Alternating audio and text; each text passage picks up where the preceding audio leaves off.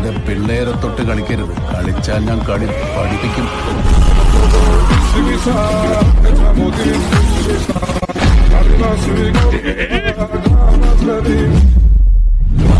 Amen.